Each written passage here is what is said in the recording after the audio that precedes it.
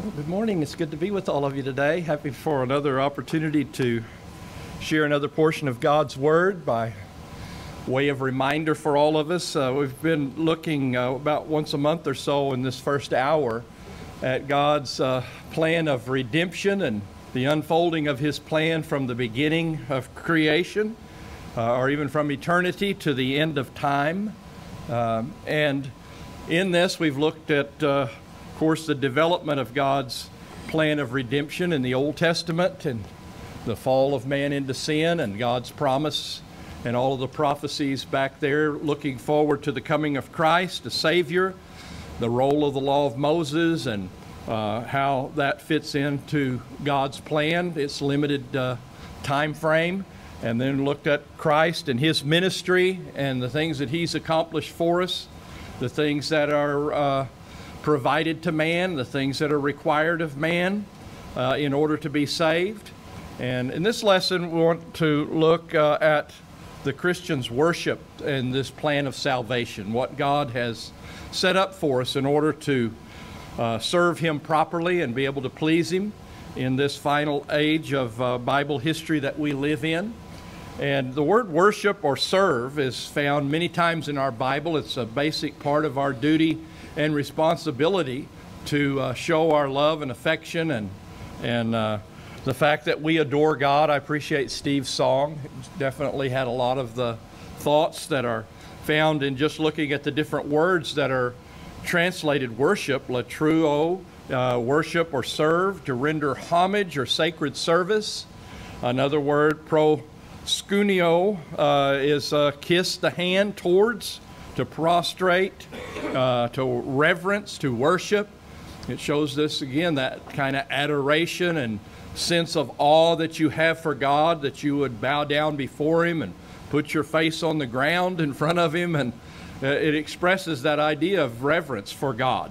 And Sibo, uh, or Sabo, Sabomai, Sabomai is a word for reverence, to be devout, to, be, to worship. So those words are used at different places and translated worship or serve uh, throughout the New Testament. So we don't have any prescribed uh, liturgy or uh, you know ritualistic uh, formula for worship that was handed down by Christ or the apostles, where you know it tells us we come in you know, somebody stands up and says this, and then we chant that, and we do the. It, there's no uh, set formula like that that's been given to us, a ritual. So what we have to depend upon is uh, commands and examples that are given in the New Testament to see how is it that we are to worship God in spirit and truth and do it in the proper way. We look at uh, what did the what things did the apostles command the church to do when we come together and we put together that pattern? And we look at what are the examples where the apostles were worshiping with people and it was obviously approved, and we know that that's right. And so we want to look at that uh, worship this morning and how to do it properly. We know in the scriptures from our Lord that there is such a thing as vain worship. And it's something that we need to understand. The Lord revealed it to us. Worship that's just based on what's been handed down by men is not proper. It has to be something handed down by God if it's going to be acceptable to Him. And it's been that way since Cain and Abel worshiped. We can go through the whole Old Testament and see over and over again that God wants to be worshiped and honored and served the way He says to do it, not the way we want to do it, the way He wants it done. And it was that way uh, in the time of Christ and the apostles, and it should be our attitude as well. We don't want to waste our time in uh, worshiping God and do things that are displeasing in His sight. We want to make sure what we do is right and that He's going to accept it. In Matthew 15 and verse 8, but in vain do they worship me, teaching as doctrines the precepts of men. We know that they had all kinds of rules and regulations that the rabbis had come up with over the years and bound upon the people, like different kind of ceremonial wa uh, washings that they uh, were supposed to do before they ate their bread or came back from the marketplace, and how to wash different uh, uh cups and dishes and all of this stuff. and none of it is in the Old Testament. It all came from their own minds, and they were binding these commandments for worship on the people. And Jesus and his disciples would not follow those things. He says that when you follow the traditions of men, things that originate from man in worship, that they're empty, they're void, they're without purpose. So we only want to follow those uh, traditions that are handed down from God. God, through the Holy Spirit, to the apostles and prophets, that's the type of worship we know is right and won't be wrong and that'll be pleasing in the Lord's sight. So we reject all worship that originates from men. Just because it's been done for a long time and a lot of people do it doesn't mean it pleases God. It wasn't true of those traditions, it's not true of any today. The one the type of worship God wants is the worship that he has given to us. Paul talks about man-made worship that is worthless. In the book of Colossians, in Colossians 2 verses 20 through 23, if you have died with Christ to the elementary principles of the world, that's the pagan ways of worshiping, all of their rituals and stuff that they had. He said, You died to that when you became a Christian. You don't follow those kind of practices anymore. Why, as if you were living in the world, do you submit yourself to decrees such as do not handle, do not taste, do not touch, which all refer to things destined to perish with the using, in accordance with the commandments and teaching of men? These are matters which have, to be sure, the appearance of of wisdom in self made religion and self abasement and severe treatment of the body, but are of no value against fleshly indulgences. So they had people that were coming in with their philosophy of religion based on things that were done in Judaism or in paganism, and they brought in these rules and regulations and were binding them on Christians to make them better Christians, I guess. Don't eat this, don't taste that, don't touch this other thing. But the rules didn't come from Christ, they came from men. And he says it is will worship or self made religion. And that is no good against the flesh. God knows what is best. Thayer says a worship which one devises and prescribes for himself. That's not the kind of worship that God wants. Vine says voluntary adopted worship, whether bidden or forbidden, which one affects for himself. Self imposed system of ordinances, fallible human wisdom. It's of no profit against the flesh. You might say, well, I'm, I'm going to really build myself up to control the flesh. I'm not going to eat this or that or whatever. Uh, that, that doesn't help you to defeat the flesh. It's your attitude of mind that you're going to put off the things of the flesh. It's your determination to avoid those things. It is having good examples around you. That helps resist the flesh. Putting on the opposite of the fleshly desire. And put your mind and fill your life up with the right attitudes of love and care and concern for God and others that helps you resist the flesh. And practicing these good things, filling up your, your time doing what God wants you to do that helps you resist the flesh. But these rules that men come up with, that doesn't work. Now that's, we got the Holy Spirit on that. That's not my opinion. That's what the Apostle Paul, guided by the Holy Spirit, says. So man made worship does not work. There's such a thing as ignorant worship that Paul talks about, and we don't want to have that either. God doesn't want ignorant worship. He wants people to worship that they know what they're doing and why they're doing it in Acts 17 22 and 23. And Paul stood in the midst of the Areopagus. He's there on Mars Hill, as it's translated in the King James Version, uh, before that high court there in the city of Athens, and said, Men of Athens, I observe that you are very religious in all respects. For while I was passing through and examining the objects of your worship, I also found an altar with this inscription To an unknown God. What therefore you worship in ignorance, this I proclaim to you. We need to know the truth about the nature and character of the God that we worship and what He wants, and not the way we want to do it. It's got to be a worship that's informed to be pleasing to God about God's nature and what we're doing and the kind of things that He approves of. So He is powerful and glorious and benevolent, And that's the God that we worship, that's all powerful, that made all things, both in the heavens and on the earth and in the sea, that Paul tells them about. And that sent his son Jesus Christ into the world and gave him to be our judge and gave us proof by raising him from the dead. We have to have the proper knowledge of God that comes through his revelation to offer proper worship.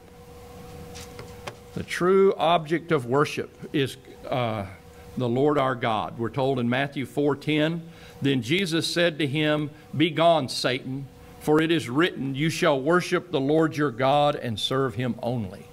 So, it is the one God that we serve, who is uh, Father, Son, and Holy Spirit. He has three uh, persons, but one nature, and they have a perfect unity together.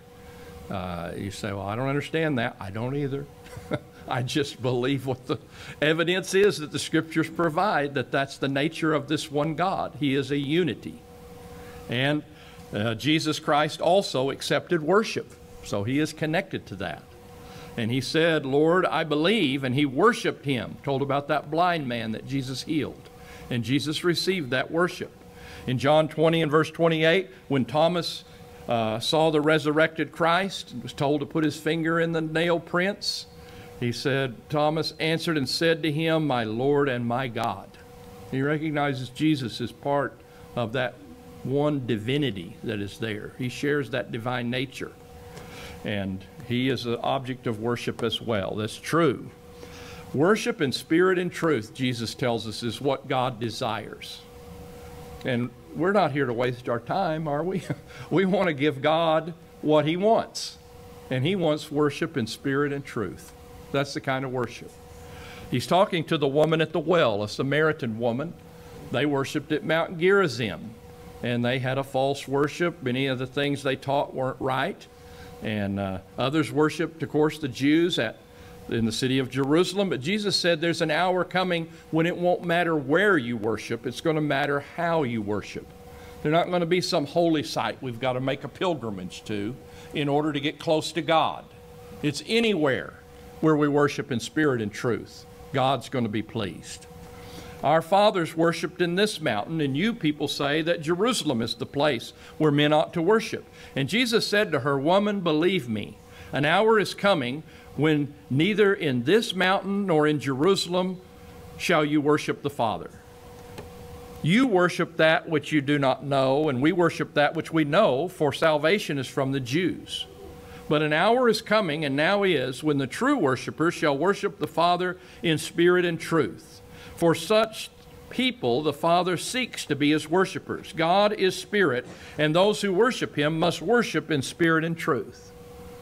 So we live in an age, the New Testament age, the gospel age, and we worship in spirit and truth. It doesn't matter where, it's how we offer worship to God. And Worship uh, location is not important. There's no holy city, there's no site, there's no special building where worship is acceptable, and that's the only place you can go. Unlike the Old Testament, the Samaritans and in Catholicism, they have these holy chapels and holy places that you go to. Uh, in the Muslim religion, the same thing. They make their pilgrimages from here to there to these holy sites to draw near to God. That's not the way of Christ not the way of the New Testament. Uh, those things are not important.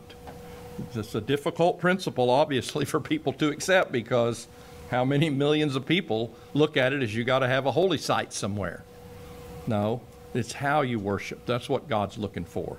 Whether it's out, we're all gathered outside under a tree somewhere or wherever it might be. If we, God wants worship in spirit and truth, that's what He's looking for. Uh, physical postures emphasized a lot by people, but it's only significant in that it reflects what's truly in your heart. Your heart's got to be in it, right? It's got to be by spirit. Sometimes you have people kneeling and falling down uh, and worshiping, bowing the knee, falling on their face, whatever posture, sitting or standing. It's the attitude of heart that God is looking for.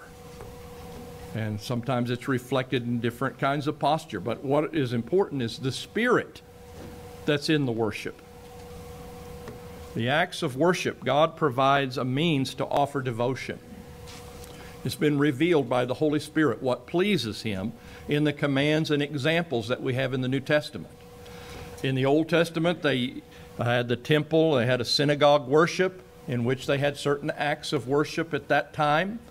Uh, there's worship the horse that takes place privately in our own homes. We, we uh, adore God and show our reverence and love for Him and a sense of awe for Him. They have pu- horse uh, public worship where the congregation comes together in one place and offers up worship. The local church worship is very similar to what we would have found in a synagogue in the first century. There were some of the same basic things. They didn't have the Lord's Supper, of course, that wasn't there. But as far as prayer and, and singing and giving and hearing sermons, that they had that in the synagogue. But so we had those simple forms of worship repeated in the New Testament. And then you have the Lord's Supper as a reason on the first day of the week that we gather together to break bread and to remember our Lord and what his death means to us all and share in that together. That's one of the things, of course, is Christ is our one source of life that unifies us all as a body. So prayer is to be offered in worship. Special emphasis on this is an act of faith. And it certainly is a pure act of faith, isn't it? you are addressing somebody that you believe in because of God's testimony, that you really believe He's there. You talk to Him, you uh, tell Him about your needs, you give thanks to Him. It's an act of faith that we pray, and God wants us to practice it on a regular basis. We have the examples throughout the life of Christ before many of the uh, uh, things that he performed in his ministry. He would get up early in the morning sometimes stay out all night praying and having this communion with God and addressing God. Uh, before he has selected the apostles, before his transfiguration, his suffering and agony in the garden to prepare for the cross. All of these things were connected with prayer. In the letters of the apostles, they abound in exhortations from Paul and others to pray for me. Pray for these people, pray for those people. And that's obviously something very important, this act of prayer. It's almost an inexhaustible subject. There have been many a sermon series that have been preached on prayer in the last 2,000 years, going into all of the different parts about prayer and the kinds of prayer and so on. Uh, acceptable service to God is prayer. And certainly it's an important part on the Lord's Day when we come together that we have prayer. In Hebrews 13 15, through him then let us continually offer up a sacrifice of praise to God. It's another way to describe worship. It's praising God, it's giving thanks to God. That is the fruit of lips that give thanks to His name. And He wants to hear those prayers, He wants to hear those songs that are sung in praise to Him. Singing is those uh, prayer and teaching and so on, praise, of course, that is put to. Uh, uh, a melody of some kind and is offered up as a song, and it is a way that pleases God. It's done in heaven by the angels. It was done in the New Testament church. They never had it accompanied in the early church with instruments of music. It all came from your heart. That's what God wanted.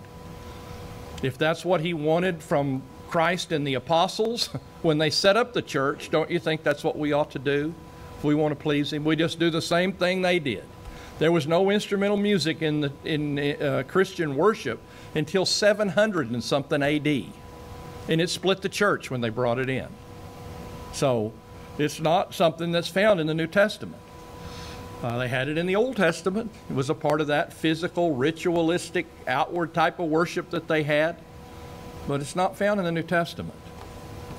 Jesus and the disciples were told after they finished the um, Passover and he instituted the Lord's Supper and he preached to them.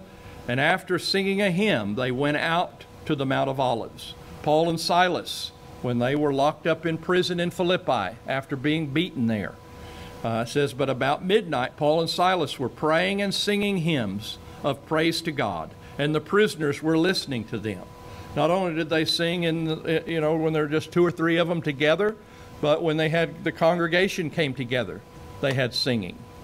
Paul's practice in 1 Corinthians 14 15. What is the outcome then? I shall pray in, with the Spirit, and I shall pray with the mind also. I shall sing with the Spirit, and I shall sing with the mind also. So Paul uh, sang the songs, and he always had his heart in what he was doing. He had an understanding of what he was singing and why he was singing it. He had to worship in spirit and according to the truth of God's word. Those two things are what God's looking for. And he always had his heart in it, and he always did it according to what the scriptures teach is true. And that's what we should do as well, if that's what the New Testament church was doing.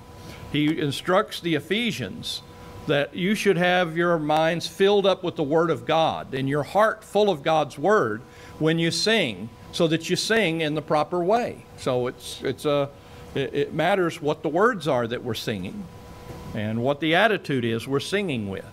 In Ephesians 5 and verses 17 through 19, so then do not be foolish, but understand what the will of the Lord is. And do not be, get drunk with wine, for that is dissipation but be filled with the Spirit, speaking to one another in psalms and hymns and spiritual songs, singing and making melody with your heart to the Lord. So we have uh, that passage tells us a lot about the singing in the church, doesn't it? How to do it properly. That we are filled with what the Holy Spirit has revealed in His Word, and that we offer up uh, these psalms like in the Old Testament that are teaching spiritual lessons and praising God. We sing hymns that praise the Lord, and that we sing spiritual songs that have a spiritual message and that have spiritual teaching in them. That that's the kind of songs. And we make the melody not on an instrument, but we make it in our hearts. We pluck our hearts, heartstrings when we sing and offer up these songs a parallel verse that says the same thing and kind of as a commentary on the first or they or commentaries on each other when you put them together. Colossians 3.16 let the word of christ richly dwell within you. That's what it means to be filled with the spirit. The spirit's teaching is the word of god. With all wisdom teaching and admonishing one another with psalms and hymns and spiritual songs singing with thankfulness in your hearts to god what is the melody we're making in our heart? all of the thanks we're offering up for all of the good things God has provided for us that we don't deserve. And we're giving our gratitude and praise to God when we come together to worship and sing. So, singing is a very important item in our worship. You sing psalms, those Old Testament psalms and Christian psalms. Uh, sacred songs used in music, hymns are religious songs of praise to God. Spiritual songs are songs affecting the soul that teach and admonish. And the melody in your heart, that thanksgiving in your heart, was to be accompanying the song that we sing. They had congregational singing. I will sing among the congregation, it mentions in the book of Romans 15:9. Gentiles were going to sing. And uh, in Hebrews chapter 2 and verse 12. So we don't have any special singing group that gets up here to perform for us. Any special solos that are offered. We don't see that in the New Testament. But we have congregational singing, is what they were doing. We want to please God, we want to do it His way. We do that. We don't do it to entertain each other or to show off some special musical talent that we have, but we all sing together and teach and admonish each other in these songs. And let's follow that pattern. Let's leave off all ostentatious choirs and mechanical instruments and doing this just to entertain. Let's do it to praise God and to educate and edify each other. The Lord's Supper, of course, is a special part of the worship that's revealed by Christ and the apostles in the New Testament for Christians to practice. Jesus instituted it. It's very simple. It's something that can be uh, practiced all over the world. It's a universal religion that we have. And we have some grape juice and some unleavened bread, and you've got the elements you need all over the world to take the Lord's Supper and to be able to carry out what the Lord instituted. He took these elements out of the Passover meal. It was the feast of unleavened bread was where the Passover was at. So we know it was unleavened bread that they had. And they had uh, grape juice there as well. So it was a communion or a sharing in the body and the blood of Christ. So, what is its purpose? We're all sharing in this salvation that the body and blood of Jesus provided for us. We're all showing our mutual appreciation for our source of spiritual nourishment and life. And uh, we have to remember where it all began and where it all came from and be reoriented every week. The Lord thought it was necessary. Every week, let's do this and remember what it's all about, what makes it all possible. And uh, we're mutual sharers or communers in that. So be partaken of on the first day of the week. When should we do it? Well, we should do it when the apostles did it, right? Because they knew what pleased God. Acts 20 and 7, and on the first day of the week, when we were gathered together to break bread, Paul began talking to them, intending to depart the next day, and he prolonged his message until midnight. So they had a day of assembly, the first day of the week, the day that Christ was raised from the dead, the day the Holy Spirit came upon the church and revelation about the gospel was revealed. On that day, the church had its beginning and we should be in a proper spirit on the Lord's Day and worship like John did on the Isle of Patmos. Let's worship God on the first day of the week in these ways and make sure we have the Lord's Supper every week. You're to eat and to drink in memory of Christ. You proclaim to all in the assembly, believer or unbeliever, that Jesus died for us, right? It gets preached every week. Whether we have it in the sermon or not, we've got it in the Lord's Supper. In 1 Corinthians 11, 26 and 27, for as often as you eat this bread and drink the cup, you proclaim the Lord's death until he comes. Therefore, whoever eats the bread or drinks the cup of the Lord in an unworthy manner shall be guilty of the body and the blood of the Lord. To drink it in an unworthy manner is to not show that reverence and respect to the body and blood of Christ when you take the Lord's Supper is to not think properly about what that body was.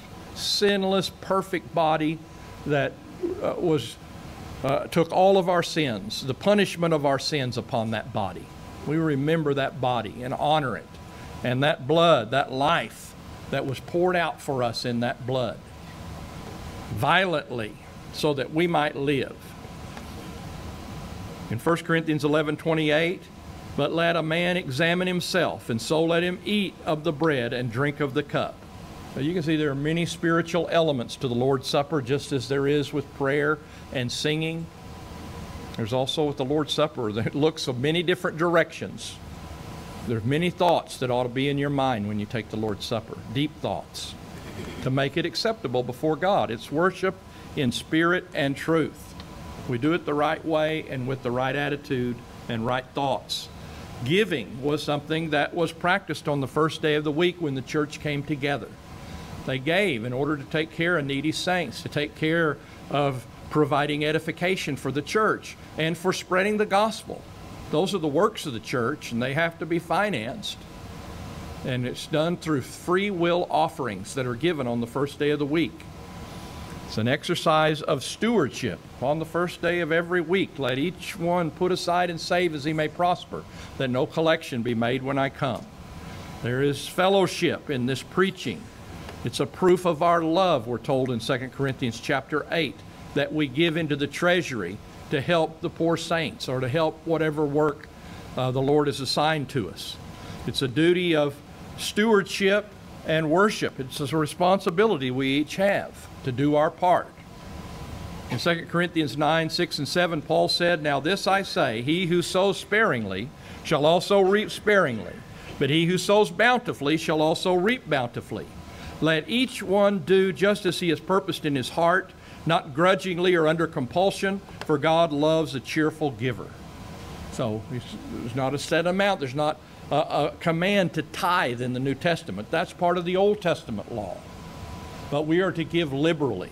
Certainly, that tithing back there kind of gives you an idea about what godly people have always given, but it's not bound upon us. It's worship from your heart because you want to that pleases God. And we need to give to God liberally and not to use that, that uh, lack of the tithing command being bound on us to cause us to give less but to give from our hearts liberally, and God will give to us. Do it as you've purposed in your heart. Your spirit's got to be in it. Grudging giving, God doesn't is not pleased with. A cheerful giver, God loves. He's looking at the attitude as well as the action. In 1 Timothy chapter 4 and verse 13, we're told about preaching. We have many examples as well that could be read of when the church came together to take the Lord's Supper and to do these things, that they had preaching of God's Word, that it was a time for teaching. The church is about teaching, isn't it? About uh, it's all about the gospel and the spread of the gospel and the practice of the gospel.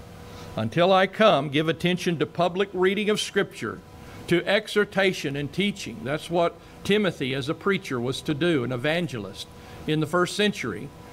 Uh, he was to give constant attention to this public worship and public reading of the Bible to people and to exhort them to do the things that it says and to give them instruction about what these words mean and what the context is, what the history was. There had to be teaching as well. So, instruction, encouragements, exhortations to action. God's way of speaking to our heart is through preaching and teaching. We take that word and then we try to implant it.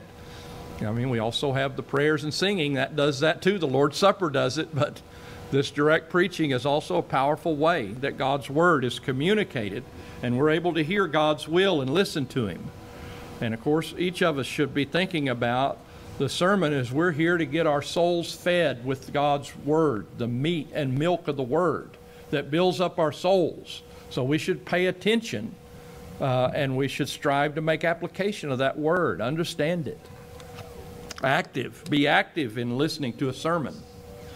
We're called upon God to help us with our salvation, is what worship is about. And if this was the second sermon, I'd offer the invitation right there. but since it's not, we'll stop right there. And we'll offer the invitation later. If you're. Uh, here this morning, let's all take it to heart to worship God in a way that pleases Him. Let's, let's try to teach others to do the same. If you'll bow with me, we'll be dismissed to our classes.